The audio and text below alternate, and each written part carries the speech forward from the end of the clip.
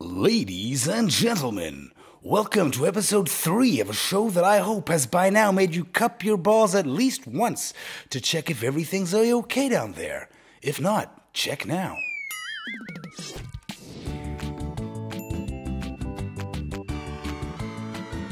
I'm checking my balls constantly, Joe. It's the only place you can work where it's alright to have your hand on your pants. When you have cancer, you mean? No, being my co host of this podcast. That's why you can never see my hands. They're always on my balls. Welcome back to the most cancerous show online, people. Hello, Andreas. Hello, Joseph. How are you? Well, still got cancer, but not doing too bad still, I'd say. Thanks for watching and for the feedback on episode two. Uh, the episodes are going to keep coming, so please share this with anybody you know. Like, if you like it, like it, share it, subscribe. I'm really bad at doing this kind of promo stuff. You're nailing this, Joe. Am I? Am I really? I, I've stopped listening to you a long time ago. For any new listeners, uh, in case you're just jumping in, this is the story of Joe's uh, road towards uh, recovery during some hurdles of chemo. Have you felt uh, chemotional? I haven't used that word yet, but w- why not? Why not? Yeah, I guess I have. More seriously, no. I've been staying positive and I haven't had the real dark emotional thing side one could expect, if that's what you're talking about. Yet. Yet. Just so people know, I don't know if we've told them earlier, but we met at film school and we share a common love of film and TV and story and narrative and all that stuff. And uh, every time I make something, and this is something, I think of a narrative structure. So we had the original that everyone loved, the first episode, The Humor and the Tumor. And then we made Ball of Fame, uh, which took it a bit too far, maybe. I don't know. I don't know. I think there might have been a few more jokes and less less reality in it. Maybe I don't know. Not that's not quite the right word, but maybe more jokes and less story. Because the thing is, the first episode had a month to talk about. But there are no good sequels. We tried to push it. We might have pushed it too far, but now it's turning into a trilogy, so now we can return with a vengeance. As long as I don't have to die hard first. Funny. so, as Joe eloquently mentioned in the opening, remember to cup your balls. This is a show about cancer and cancer awareness. We have to tell people to check themselves before they wreck themselves. Am I right, Joe? Absolutely, absolutely. I would have rather have figured this out sooner. So check yourselves, check your boyfriends, check your brother, check your dad. I don't know, check everybody. But like, ask for their permission first. So that, so that tiny little lump might be something gross and horrible. Don't underestimate the power of the cancer.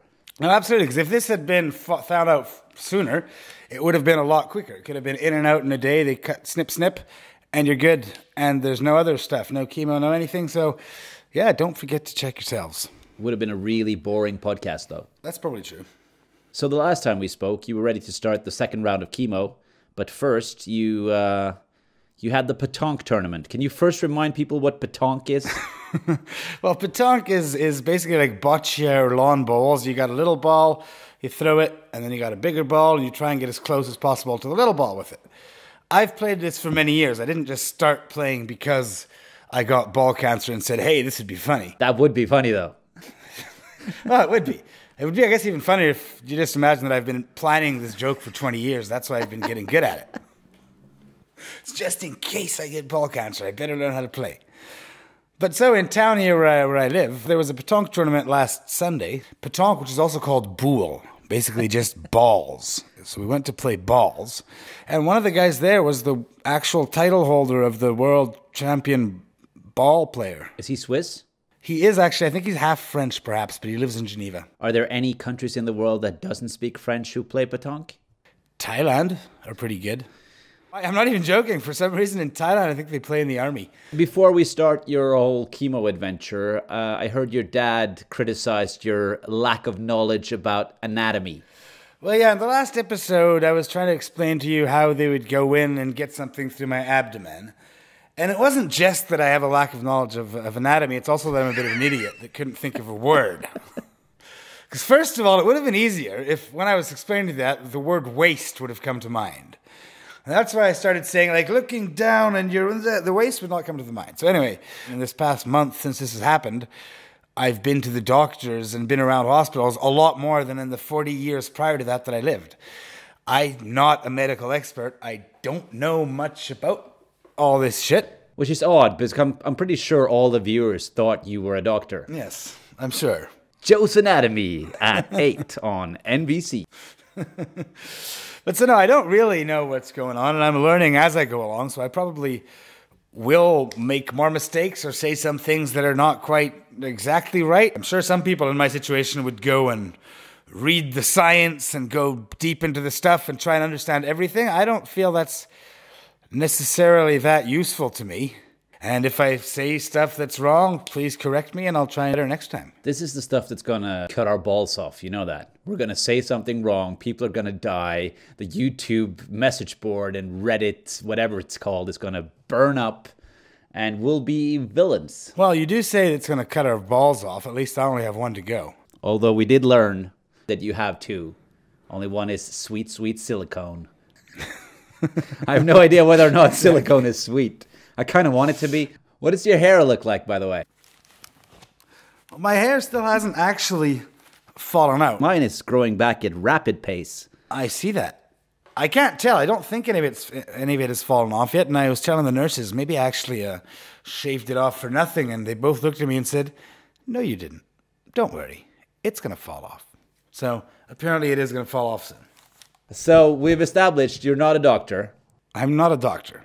I'm very disappointed to learn that, but you know, I'm getting all my top medical knowledge from you, my friend, and uh, you've been serving me baloney. Baloney. Baloney. Oh, so cheap yet so rich. Let's uh, let's start with the chemo journey. Was the second round more explosive than the first? Like a good sequel? If I had to compare it to a sequel, it wasn't really like going from Alien to Aliens. Was it Home Alone and then Home Alone Alone in New York? Yeah, sort of. It was. I guess it was more that. It was like Home Alone and like Home Alone in the oncology ward, except I wasn't alone because there were other patients. This whole week was in uh, as an outpatient, and so it's quite a different experience because you go in there at eight thirty in the morning, and you're out by about four. And so I'd go in there at eight thirty, and basically have to get my blood pressure taken, my temperature taken. Uh, they weigh you when you come in, then hook you up on the Monday. Hook my portacath up to my IV stand. Philippe? Philippe, exactly. And then basically I sit there all day until four o'clock. Most of the time just being hydrated. They're giving me water. Are you encouraged to drink all the time as well, in addition to the fluids? Yeah, because they give me basically three liters of uh, saline solution of, of, of fluids a day. And they encouraged me to drink a bit more than usual too. So I ended up, I would drink maybe two liters a day and get three injected in me. So what are you encouraged to drink? Only water or anything? No, they basically said anything. I mean, water is good, but to add all the fluids, they give me coffee in there. I can have a glass of milk in the morning. It can be tea. If I had a soup at lunch, that counts as fluids. But I did mainly drink water, really. And tequila shots. No, I didn't have any tequila shots, at least not at the oncology ward. So you mentioned there were other patients there. Well, yeah, of course, this time that's what was quite different also. I was at the hospital. I was in a room, I shared a room with, uh, with an elderly gentleman who wasn't a cancer patient. It was just another, I was just in the general population of the hospital.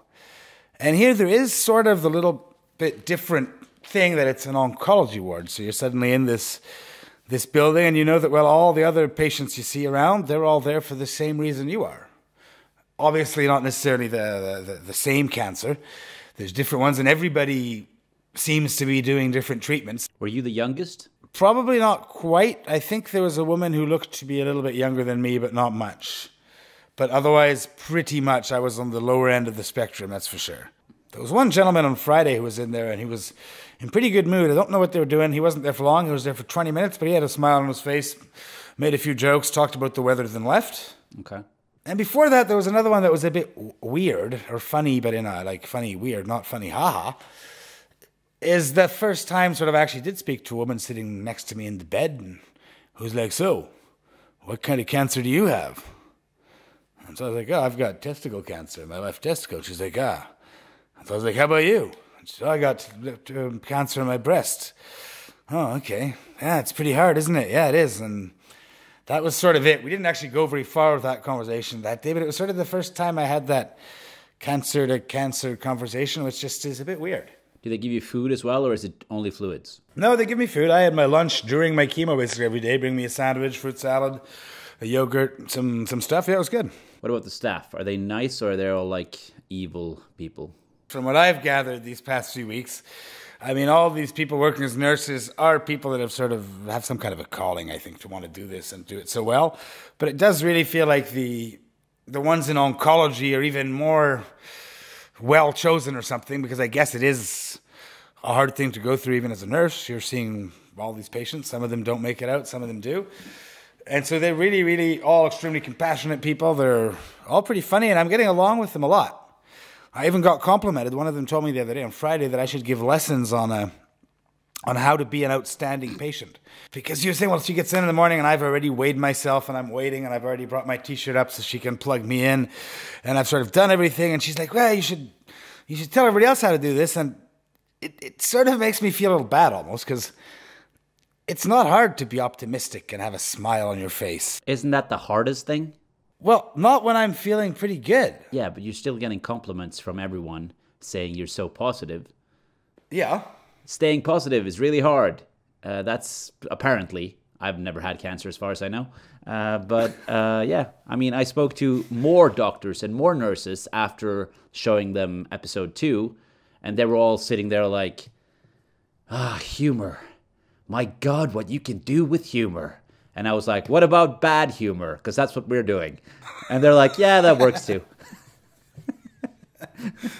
I mean, it's true. I'm, I'm sure, and I've spoken to friends about this too, that staying positive and making jokes is helping me stay positive. It's like a never ending circle. But it is pretty easy to stay positive when I'm feeling pretty good. And I do realize that this isn't the case of everybody. So I, I, it's sort of weird. I, I know, I guess I'm unlucky to have uh, contracted this. Yeah. But I do feel pretty lucky so far about how well it's going and about how my version of it is and how I'm getting an easy version of this, at least so far. You think you're going to get survivor's guilt if people around you that you notice will die in the oncology ward? I don't know. I guess that'll depend if I survive. That's given, but you know. I don't know. Well, I probably would a little bit. I'd be happy to be alive, but yeah, it's. I mean, it is weird. Thinking and it's, it's. I'm still, as I said at the beginning of this thing, I'm not an expert, but I can tell everybody has having a, a different battle, a different thing. It's a different way, and mine seems not too bad. So I, yeah, I, I, I would wish other people could have one like me. I was thinking we should move over to a segment that will piss people off. It just might, because it's true. We talked about all the, the, the water and all the fluids that I injected and drank during these five days. But as you know, uh, what goes in must come out, I guess. This is true. And I've rarely spent a week in my life where urine was so much the center of, of like my life. I basically spent these five days either peeing, drinking in order to pee, getting injected so I could pee, thinking, hmm, should I go pee? Talking about my pee and being congratulated about how much I peed. Because you pee a lot when you're drinking so much fluid. I can imagine, yeah. Did it make you feel pissy? Like, like in a pissy mood? A little bit, a little bit. I mean, it's like on the, on the end of the week, it's every 20 minutes you're getting up to go to the bathroom. Wouldn't it be better to just hook you up to one of those thingies that you can just let it go, let it go, let it go? the song? Yeah, I haven't seen the movie. me neither. And it's based on Norway.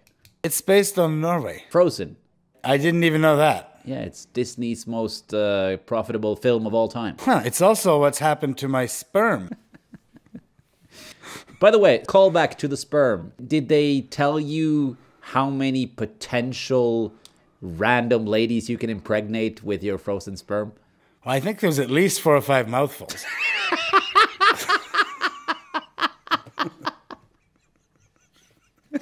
Swallow that mouthful, Joe. but these are just for me, these kids. Other people aren't going to. It's not like I'm giving the sperm away. I, ju- I just I don't know much about sperm, obviously, because I'm a moron, and I'm also not a doctor, just like you. But I was just wondering, you gave a certain amount And statistically, how many kids, how many attempts will that lead to? I have no idea. I know I had to give it twice to uh, increase the, the odds that it would work, but I don't think it's meant to like last for. If I want to have a kid every year for the next 40 years, I don't think that'll work. So you spent the majority of every day pissing. What did you do at night? I've been sort of off and on staying at my parents' house. It's been great this uh, since this started. And so I came to their house, but also went to see some friends, and I, I, I went out and sort of lived my life, so to speak. I, I went out to a friend's 45th birthday party by the lake. Only problem is this month of August has been like the worst one I can remember since eons, and it was pissing down with rain. Did the weather help you when you were trying to piss in the daytime? Like the sound of drizzling water? Probably. More seriously, I was pretty happy to actually be to have crappy weather when you're spending the day in the hospital. It's nicer than having the sun shining and it being hot and whatever. So I, I was fine with it being crappy. Would have been nice if the sun had cleared up a little bit for the barbecue, maybe though. What about your uh, immune system? Well, yeah. Let's talk about it, Joe. Yes, sir. Yes, sir. Well, so yeah, my immune system apparently I don't necessarily feel particularly weak, but I have been told, and I know that the the the, the chemo drugs I'm taking don't just attack the bad cells; they attack the good cells. Long story short, basically, your immune system uh, is weaker, so you have to be more careful. Which I'm doing, and I mean, I, I'm going out and I'm trying to live my life, but I'm not being an idiot. And like I've been told my doctor, I'm allowed to have a drink or two, uh, an alcoholic drink or two. But I haven't been going out and having 12. I'll have maybe a glass of wine, and then I had a couple of non alcoholic beers. And I, I try to sit down a lot, and I'm not like dancing and standing in the middle of the crowd and people surfing. Do your friends question your decision to drink every time you take a sip? It's just like, oh, Joe, Joe, Joe, Joe, Joe, Joe, Joe, what are you doing? There's a little bit of that. First, first, they really allowed to, and I said, yes, I've asked my doctor, and I specifically asked, obviously, is it going to have any any effect on the treatment? Because, I mean, if he says zero drops of alcohol is better tomorrow, I will stop tomorrow. But my doctor also said, no, you can have a drink or two. It's nice to relax. Obviously, don't go overboard. And but it's true that a lot of people have asked me every time they see me, "Are you really allowed to do that?" I say, "Yes. Don't worry. I'm being surrounded by experts." Well, it's a good thing your friends are sort of overprotective. Well, absolutely. They've all been really nice. I mean, then last night I had dinner at another friend's house, and most of them are vaccinated. He made sure that everybody who came to the dinner got a shot or had been vaccinated, rather. Like a shot? No, yeah. I'll try that again. Last night I went to a friend's house for dinner, and he was really nice because uh, he made sure everybody there was either vaccinated or had just done a test in the day to sort of keep me safe. And all my friends have been very supportive, protective, but also letting me live my life. They're not hanging around. That is good to hear. Uh, how about side effects? Have you felt any more side effects now that you're you have more cancer in your veins? No, not more cancer, more chemo, more poison. Hopefully less cancer. I don't know yet, but hopefully less cancer, more more poison. I guess that's about true. Well, remember last week I told you I didn't know if it was side effects or a stomach ache, stomach ache or Yeah. something. And I think it probably was the start of side effects because I had to have, which I've read is another one, some acid, acid reflux on and off these past few evenings. Nothing at all unbearable. It gets me belching a little bit. Had me hiccup a bit the other night for a minute or two. So that's the only side effects? Yeah, How's your back? yeah. I've had no back pain at all since the start now, since I've had the testicle removed. Was it only the fact that your ball was so heavy that your spine became crooked? Hopefully not, but but yeah, my, my doctor friend did say that there was a pretty good chance that part of the pain at least was just radiating from the testicle. Hence, removing it would bring that pain down. But I do still have something pushing against my my uh, spine. Medically speaking, I did make my first mistake yesterday. What'd you do? I don't know if it was my first mistake, but Probably not, considering your dad called you a fucking idiot after seeing the last episode. he doesn't swear. Gosh darn idiot. He just said my anatomy wasn't perfect in a nice way. But anyway, uh, so after the five days of chemo, and I had to do this the same thing after the first session, I was supposed to give myself a shot the next day. Give yourself a shot? Yeah. In the thingy? No, no, no, no, no. Just in my in my in my blubber, in my fat, in my stomach. You're supposed to insert a syringe into yourself like a Japanese suicide? A little bit, but I've done this before at the beginning of my treatment. Because for the first two weeks of treatment, I had to take anti-clotting uh, drugs. It's very simple. I did it for two weeks in a row, and you just press down, and you can't even hurt yourself, and everything goes in. Except I did something wrong this time, and so this is an injection I was supposed to do after the after the, the, the five days of chemo to basically start bringing up my white blood cell count. Okay. And I got ready yesterday morning to do this shot, did my thing, thought everything would go fine, and then did something wrong and realized I put at least half of the the drug onto my shorts rather than into my belly. So your belly rejected the drugs. No, I just sort of moved weirdly and, and I, I don't know. Anyway, I did a stupid thing and then thought, hmm, that can't be good. They told me I got to take this one little thing. There's six milliliters, uh, six milliliters, I think it was. I don't know how much is next to me. I probably need to call someone. So, and the oncology ward is closed on weekends. So I called the hospital, but I got through pretty quickly actually to my actual oncologist who called me back. Wasn't worried at all, which was good to hear. On a scale from 2 to 13.8, how much were you in panic when you fucked that shit up? Uh, pretty low, but four or five. I was at my parents' house. Nobody here was panicked either. Well, you have told them not to care about you. I didn't say not to care. I said not to. I said laugh a little bit. Fair. But uh, yeah, a little bit. I mean, a little bit. I thought pretty quickly, well, that was really stupid because everything's going well so far, and I figure it's also probably because I'm doing everything I'm told the way I should. So I did feel sort of stupid to, oh no, this is the first thing I've done wrong. I hope it doesn't make the side effects worse, make things last longer, do whatever. I don't know. So are you regretting not having been a heroin addict for the last 20 years so you know how to deal with syringes? Not really. I saw Trainspotting. It didn't make me want to want to do that. No. Fair. Not so much. Fair. These are a lot easier to inject, I think, than this kind of horrible stuff they look, except that I'm an idiot because these are really like idiot proof injections. And I proved I was an idiot, I guess. What's idiot in French again? Idiot. With a T that's silent or? Exactly, unlike you. I'm just going to mute my mic and you can finish this shit off. uh, no, I can't trust you to finish something. You can't even put a syringe in your own belly. Uh, so, Joe, what's next? What's coming up? What's on the horizon? What are you here to plug? Let's hear it. That camera, that camera, that camera. Okay, hot ones.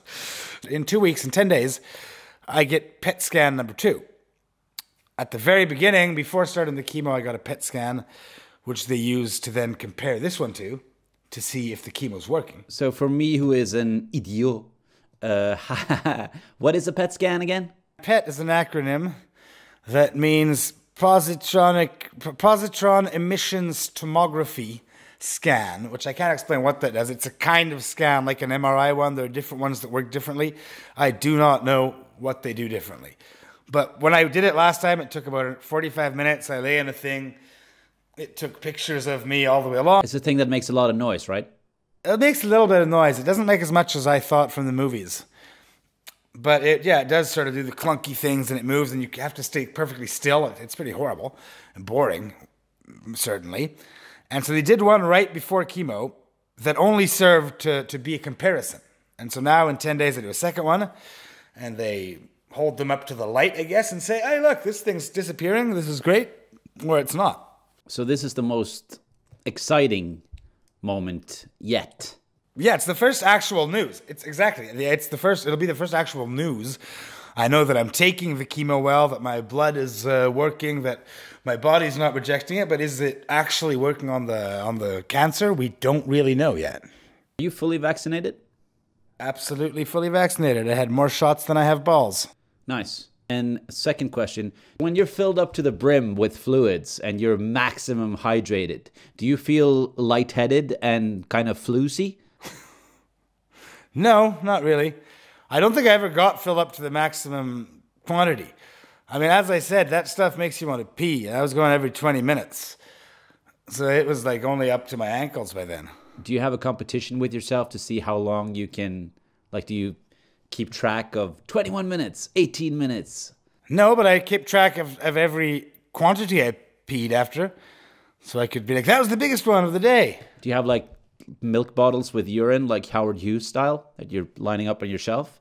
No, well, not quite. They have a special bottle that's made for this that you use to measure it, and that then you write down on a piece of paper every time you use it so they can add it up at the end. That makes sense, but I mean, considering you're the weird patient who wanted to keep his testicle, I'm thinking maybe you're the weird patient who wants to keep all his pee. No, just the testicle, and I'm still working on that for those who uh, watched last week. We're looking forward, and we're horrified to see your fake prop ball.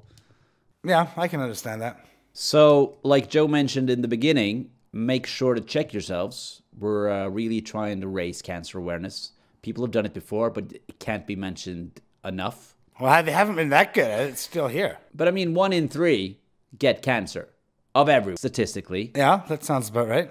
My dad, the doctor, said that uh, that sounds weird. My dad said the doctor said that uh, eventually, at the end, uh, 100% of all men get prostate cancer. So that kind of fucks up the the odds of one in three. So you're just trying to tell me that I'm I'm bound to get another cancer after this one? Yeah, you're welcome. Thank you for that. But I mean, it's far down the line, and it most likely won't kill you. But every old person, at some point, every old guy will get prostate cancer. You're welcome. But you mean they won't even necessarily know it because they'll be so old and they'll never realize? Yes, and they'll have a bunch of other shit that's killing them their children and their mortgages, AIDS, Fun things to look forward to. and maybe COVID. Uh, yeah, that was a, that was a positive end note. Should we maybe crank up the vibe? I've never seen a trilogy end this uh, this horribly. Until next time. So let's wrap this up. Remember to cup your balls, people, or cup whatever you have that needs cupping, whatever it is. Just cups. Touch Yes, yourselves um, your own. with consent. Just do it. You know what we're saying. You know what we're trying to tell you.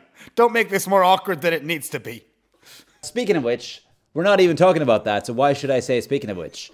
These episodes, they don't have a specific date or a specific time because we're trying to slot them in between the cancer and the chemo and the spine and Joe's off like petanque tournaments and cheese eating frumpy neighbors and all that stuff. Also, I have a real job.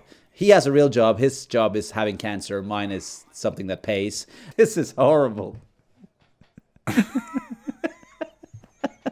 I like that. Uh, so That's yeah, so we're gonna we're gonna continue releasing these. I know there are some people out there who hate us, and that fuels me to carry on.